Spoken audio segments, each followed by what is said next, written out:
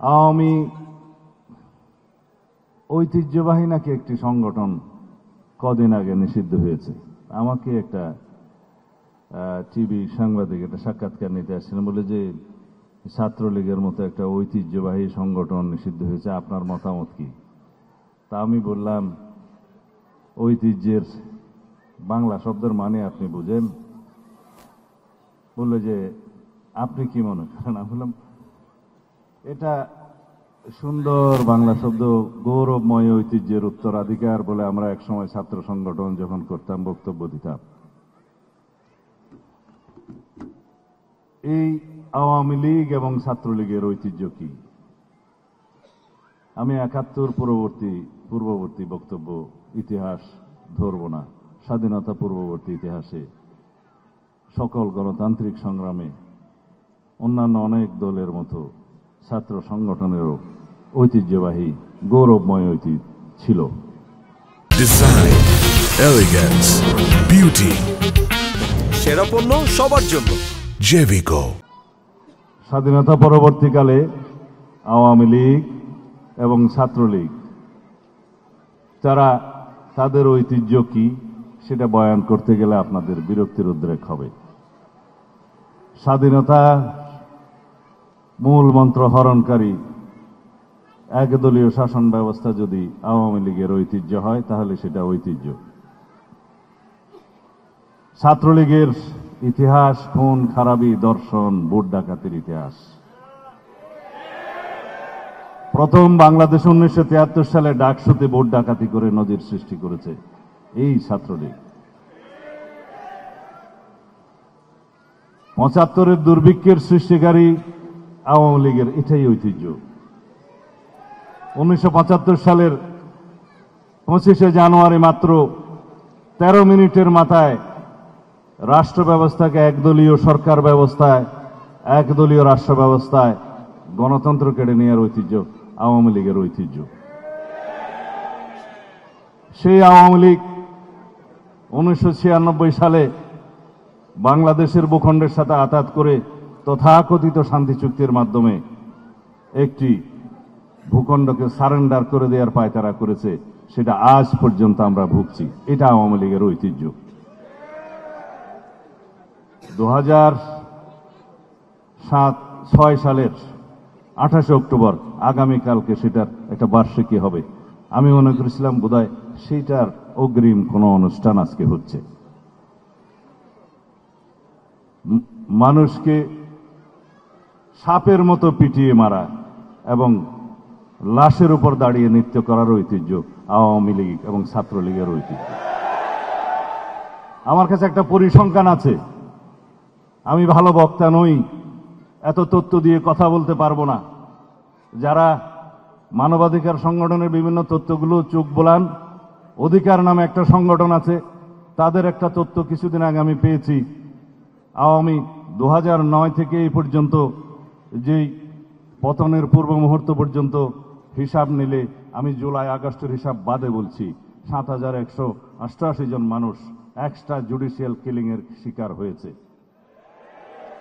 তার মধ্যে আছে কাস্টোডিয়াল ডেথ, তার মধ্যে আছে আওয়ামী সন্ত্রাসীদের বিভিন্ন হামলার কারণে এবং সন্ত্রাসী কর্মকাণ্ডের কারণে মৃত্যু এবং extrajudicial death two thousand seven hundred আরেকটা হিসাবে আছে যে বিভিন্ন রকমের পুলিশি এবং আওয়ামী সন্ত্রাসীদের যৌথ অভিযানের কারণে ছাব্বিশশো তিরানব্বই জন এবং যারা এনফোর্সড ডিসঅ্যাপিয়ারেন্স হয়েছে, আমি এখানে, আমি খুব সম্ভবত ব্রিগেডিয়ার আজমিকে দেখছি আমার সামনে, যদি আমি ভুল না করে থাকি আমার চোখের সামনে।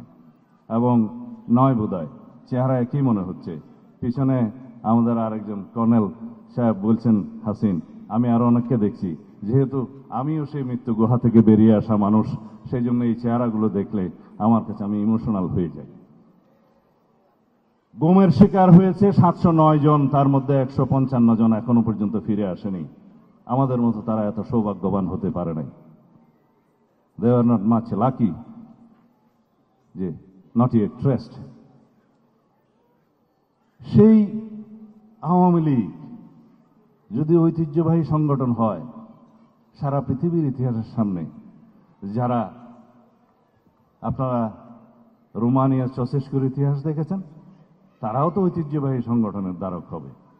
যারা দ্বিতীয় বিশ্বযুদ্ধের ইতিহাস পড়েছেন, যারা লক্ষ লক্ষ মানুষকে নিজের দেশে হত্যা করেছে, তারাও তো ঐতিহ্যবাহী সংগঠনের ধারক হবে। আজকে কথা উঠেছে, আওয়ামী লীগের রাজনীতি নিষিদ্ধ করার দাবি উঠেছে, এটা জনতার দাবি। ছাত্রলীগকে নিষিদ্ধ করা হয়েছে একটি সন্ত্রাস বিরোধী আইনের অধীনে। আমাদের কোনো বক্তব্য, প্রতিক্রিয়া, ক্রিয়া নাই। এটা যারা করেছে, আপনারা প্রতিক্রিয়া সারা দেশের মানুষের কাছে জিজ্ঞেস করেন, কীভাবে তারা প্রশংসিত হয়েছে। ঠিক আছে, প্রক্রিয়া কি হলো সেটা নিয়ে আলোচনা করা যাবে। ফলাফল তো মানুষ গ্রহণ করেছে। এখন আওয়ামী লীগ বাংলাদেশের গণহত্যা চালানোর পরে, আসমান থেকে গুলি করে এই দেশের জনগণকে হত্যা করার পরে বাংলাদেশের মানুষের সামনে আবার রাজনীতি করার অধিকার রাখে কিনা, সেই প্রশ্নের ফয়সলা হবে জনগণের। জনগণের আদালতে সেই প্রশ্নের ফয়সলা হবে। ট্রাইব্যুনালে একটা সংশোধনী আনার কথা শুনছি যে সংগঠন হিসাবে, রাজনৈতিক দল হিসাবে যদি গণহত্যার সাথে জড়িত হয়, রাজনৈতিক সিদ্ধান্তের প্রেক্ষিতে রাজনৈতিক দলের প্রধান হিসাবে, রাজনৈতিক সরকারের প্রধান হিসাবে, তৎকালীন অবৈধ প্রধানমন্ত্রী হোক, প্রধানমন্ত্রী হিসাবে যদি তার আদেশে গণহত্যা পরিচালিত হয়ে থাকে, সেটা শুধু ব্যক্তি নয় ইনস্টিটিউশন প্রধানমন্ত্রী এবং রাজনৈতিক দলের দায়িত্ব। সুতরাং সেই রাজনৈতিক দলেরই বিচার করতে হবে, সেই সংগঠনের বিচার করতে হবে, সেই সংশোধনী যদি আইনে আনে এবং ট্রাইব্যুনালে যদি সেটা বিচার হয় বিচারে যদি তারা দায়ী হয়, সেই বিচারের ফলাফল কি হবে, সেটা তখন দেখা যাবে। আমরা এখন কোনো ফয়সলা দিতে চাই না। সুতরাং দাঁড়াল দুই কথা। এক, জনগণ সেটা সিদ্ধান্ত নেবে, আদালত সেটা সিদ্ধান্ত নেবে।